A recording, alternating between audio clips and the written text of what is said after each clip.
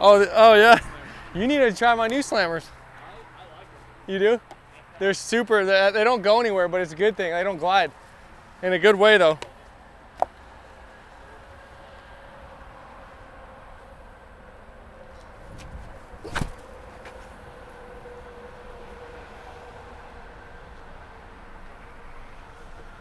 Try one more.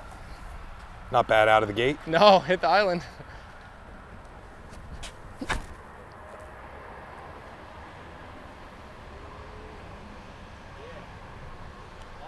Like that right side, I guess. Throw one more. That was a harp. Okay. Yeah. Slammer doesn't quite have enough glide, I don't think. It might, that one might, yeah.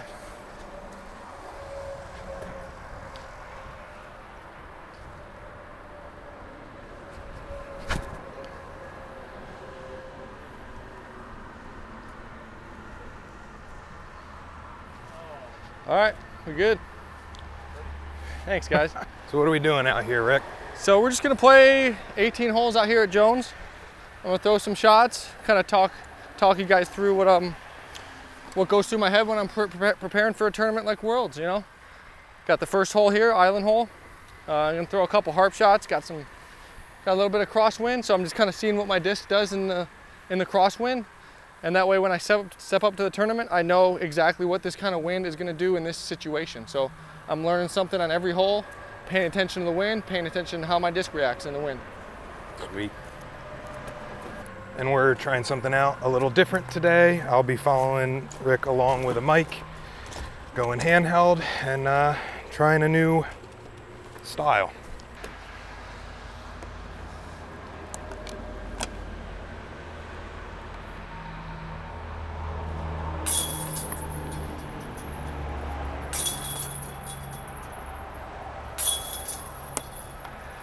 A little busy here It's today. funny. Yeah, it's pretty busy. The country club is uh, isn't open till three, so everyone's over here practicing before they can go over there. It's funny actually. My arm, I have like a dead arm. I went to practice yesterday at Hammond Park, nine hole course, and I was uh, literally putting for like two hours to the point where now my shoulder literally barely like barely like works. So I've been that's where I've actually been noticing that's where my shoulder pain's coming from. I'll practice so much that I'll actually get a dead arm and that's what's been happening in the last couple weeks is I, I just figured I put two and two together. I'll go on these like two, two and a half hour putting putting sessions and literally the next day I can't even move my, my shoulder. Just so much, yeah, just just extending your arm and going through the motion probably Overuse, thousands of times. yeah. Just ta- you know, takes its toll. So, but it'll heal in a couple days and I'll be back to normal. And then I'll probably just tone it down to 20 minutes, maybe three times a day instead of all at once. So I'm gonna kind of throw a shot. I want to try, try and be like 30 feet right of those flags is a good landing spot because then it opens up the fairway. If you go too far right, it adds for a tricky shot. Um, so I'm gonna try to try to hit that landing zone, leave myself a good second shot into the fairway.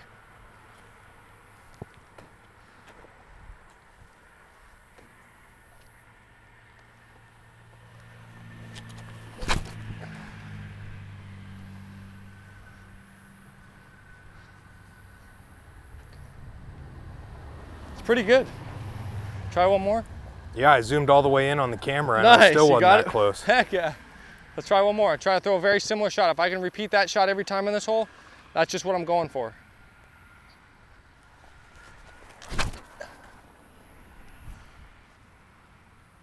Sit. So that one's OB left. The wind kind of carried that a little bit, a little bit of a tailwind, making them overstable. So that's a fine line between the first one and the second ones. Yeah, a lot of holes out here are bomber holes, but you still have to hit the angle of the shot and land in the landing zone. If you miss the angle of the shot, it's almost worse than hitting a tree on a, on a wooded course because you're OB. Whereas on a wooded course, you just hit a tree and you're dropped, can still throw a shot. Here, you're, you're having to take a penalty stroke. So it's uh, detrimental if you miss drives out here. I'll try to throw a little left to right fairway driver down this gap.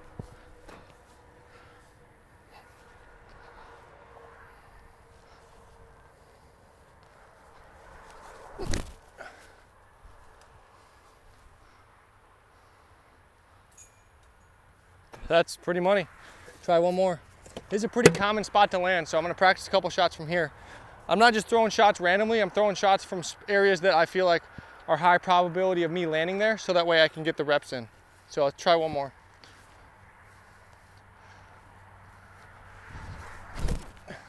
Ah, uh, get up. See, that's the problem with that shot is it's just hard to get any height because if you, hit, you throw it too high, you hit the tree. Throw it too low, you hit there. So it's just a tough shot. Now I'm gonna practice a shot that I threw good. That was like a mediocre second shot. This would be where I land if I throw a good second shot.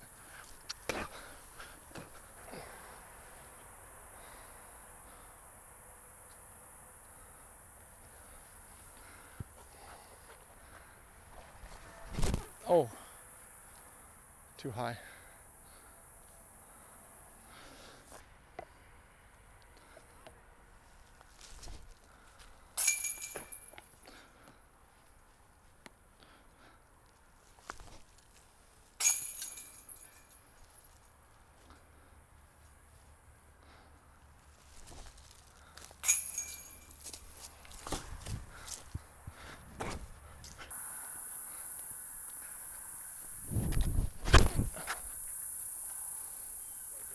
Yeah, that's money. Yeah. Yeah, one more.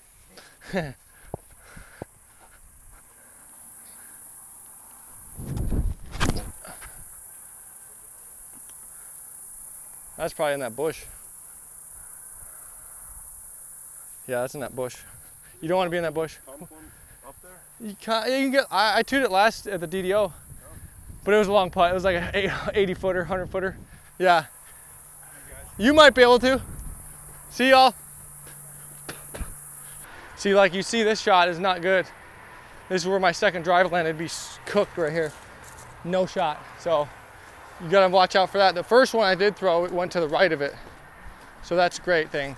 It's got a wide open, easy three pretty much. What are you throwing here? So these are Raiders, my Lucid Raiders, Ricky Raider. Um, these are these are my money go-tos lately.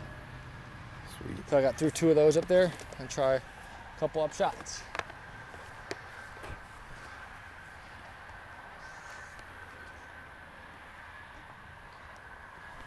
Oh, that was not it. Exact same shot. All right, I'm gonna throw a better one here.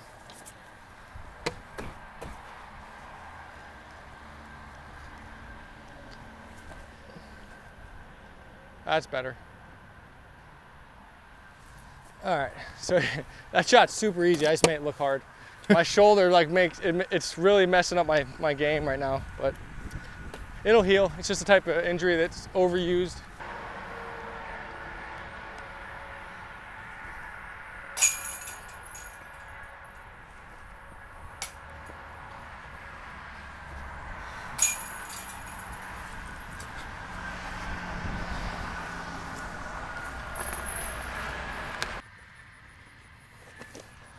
Hole, par four, dog leg right and then back left.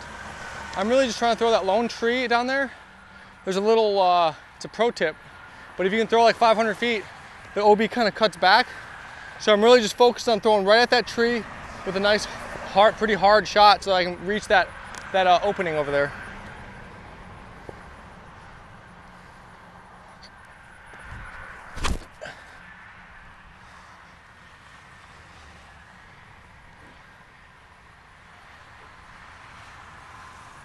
Pretty much exactly what I wanted. You saw how it drifted right at that tree and then hyzered in front of it. That's money spot. Try that one more with the Raider.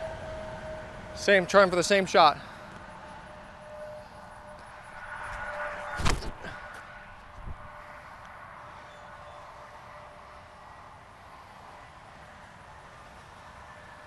The biggest variable on this hole on the second shot is that big tree right there on the left-hand side.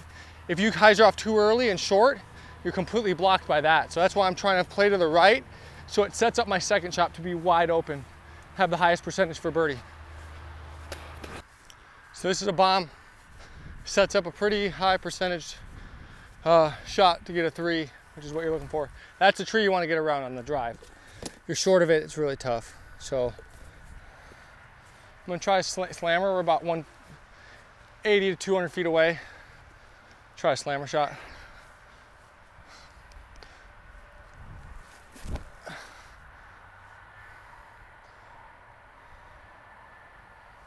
Perfect. If you guys notice, that's why I love the slammer so much. As soon as it hit the ground, it stuck. It stuck. It did not. It did not skip. It didn't roll. It just stuck right there. So it's just like playing lawn darts at the basket. That's what a slammer is all about. Let's try another lawn dart. Lawn dart. Now go in. Oh, see, hit right under it, and didn't didn't bounce more than a foot after it hit the ground. Try one more.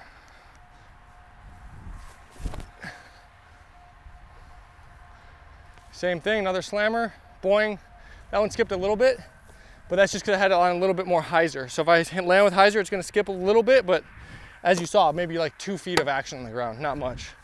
So that's huge, hugely why I love the slammer.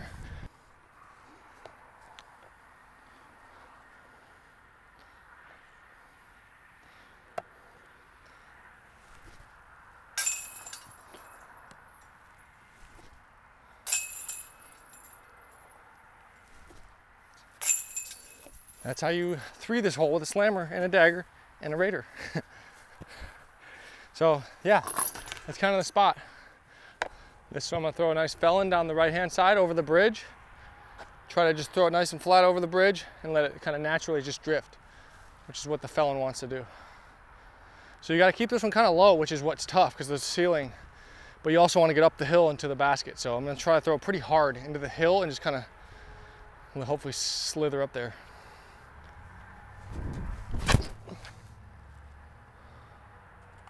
Ah, just caught that tree coming in. Try one more. This one is. Give me hyzer flip a little more.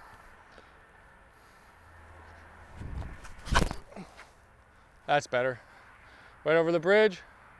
Skip up to it. Yeah, perfect. just like I talked about. Haha. so this is crazy. This is like the worst possible spot. I'm like circle's edge and I have a big fat tree right in the way. So got to kind of keep that in mind. I want to hyzer out a little bit more so I can land somewhere over here and have an easier putt.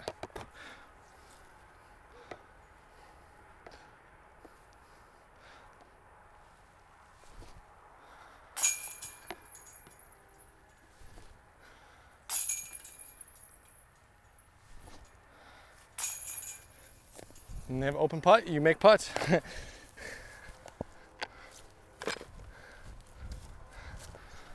All right, so I got a question that a lot of people probably want to know. Yeah.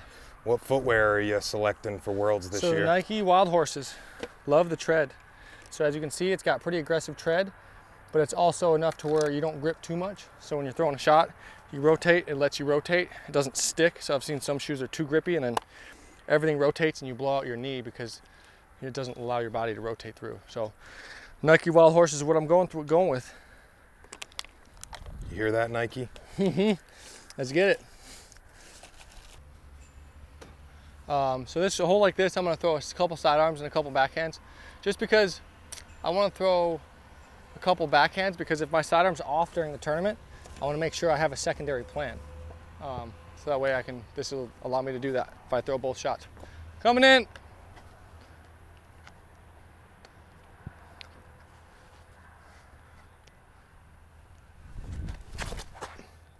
Four.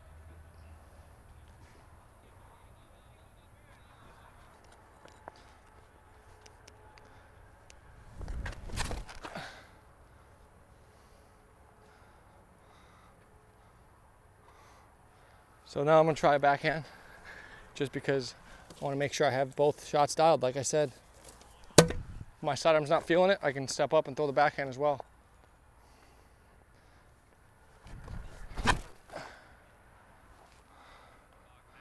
Sit, don't go in the water, please.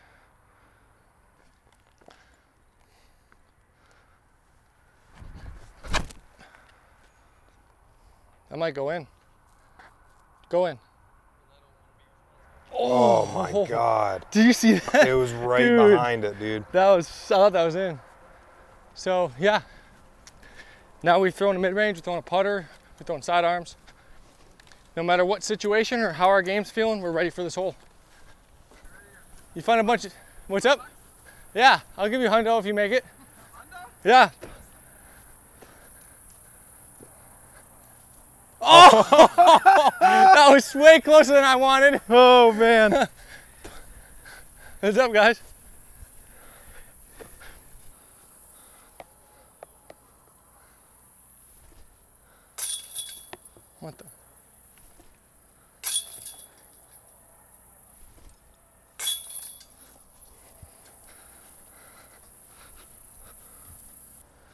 What's the play here?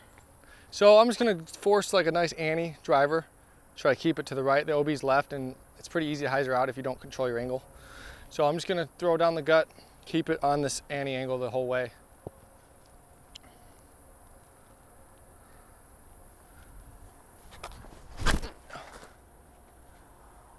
Oh, so I just started it too wide. It's a good angle, just started it too far left. So try a couple more.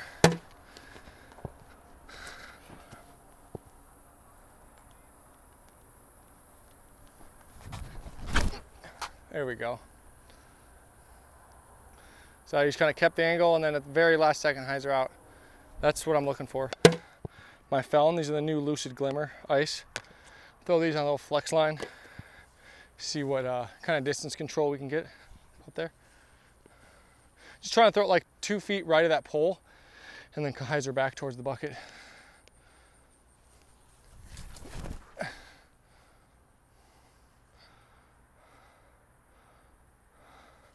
Looks like a little short, so I'm gonna throw one more.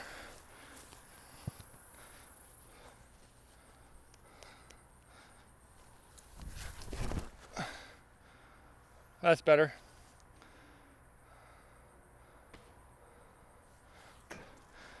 Huh, that may still be a little short. Need a little more glide. Those ones don't glide a bunch, which is good for certain shots, but shot like this, I need a little bit more glide, so I'm gonna try my little bit more broken and lucid felon.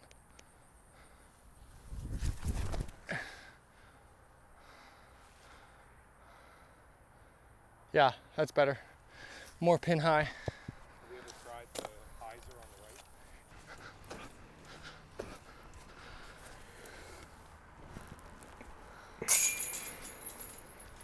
And then these all the slammers and felons are right here, pretty much parked. So got the, I feel like I got this hole pretty dialed.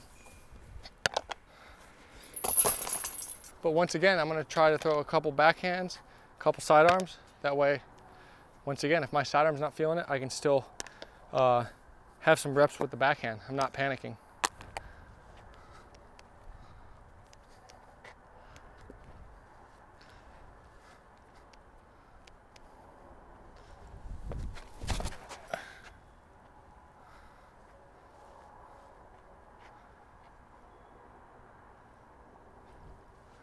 pretty much perf.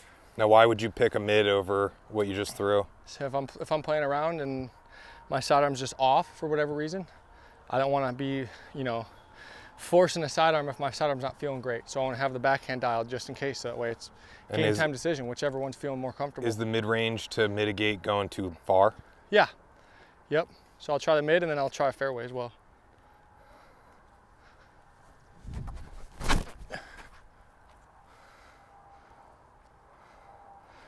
That. was that was just too stable, too high. Try one more with the mid. I think the mid's a play with no wind. Just gotta throw it the right angle. That wasn't the right angle. all what mid you got? Compass. Nice smooth compass shot. Should get me up there. Ah, I'm just not turning it.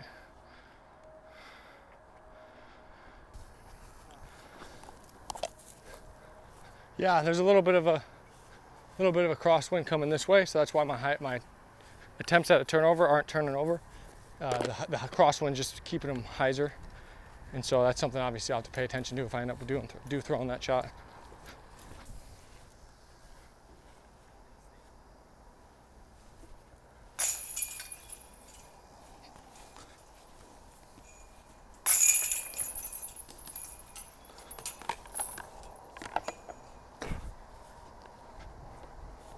So side arms right here are gonna hit here a lot and just kind of Velcro. So I'm gonna take some putts from here.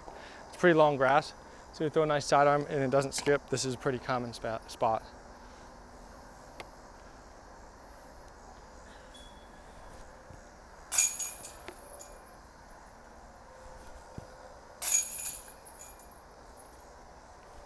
Hopefully that's a common result too. Three for three, let's go. All right, hold nine is a smooth Annie off the tee. Probably you don't need to throw as far as you can, but the farther you throw it, the easier the second shot is. So there's a tree on the right hand side of the fairway. I'm just kind of trying to throw just past it with some turn to land in the sweet spot and set up a slammer up shot.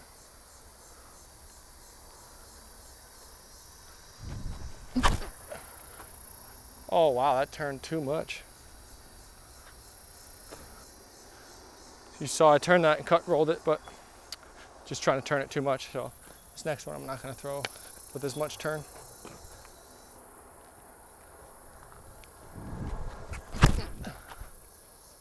That's better.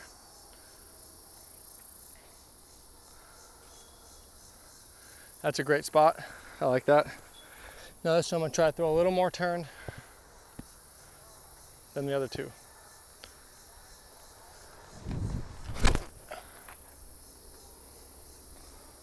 Yeah. That's juicy. I literally just missed that last tree and pretty much any, this is a, I don't want to say easy, I hate that word because you still have to throw a good shot to even on an easy, easy hole. You still have to execute. So in your head, if you think it's easy, that's just, that's just your mind getting, you know, lackadaisical and that's setting yourself up to mess up an easy shot, what should be. So treat every shot like it's hard. Just gonna try to throw it, throw it right into the hill and kind of skip up to it. That's my goal.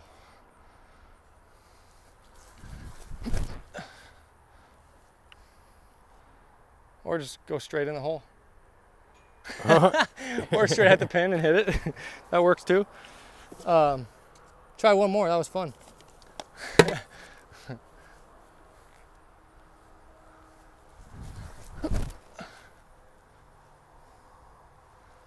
Tree. Yeah, I knew it.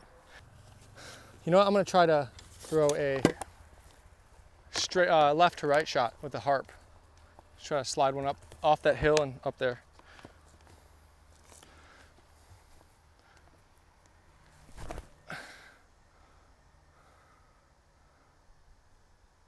See, that's all right. Still 20, but where I'm hitting right there is about 20 feet short. So, so now you can see what I'm talking about here. These two trees are on the green. So if you hit them, you're not doing the worst, but you don't want to hit them and bounce over here like I did with my mid-range. Then you're forced with a lot longer of a putt, which I can make, but.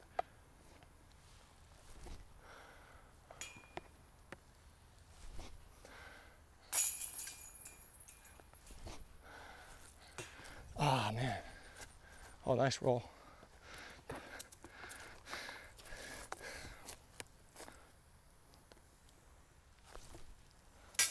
Uh, but yeah, this is this seems like the collection zone for most of my upshots. So take some putts from here. There's someone behind us, so we'll keep moving, but that's where I normally would putt from.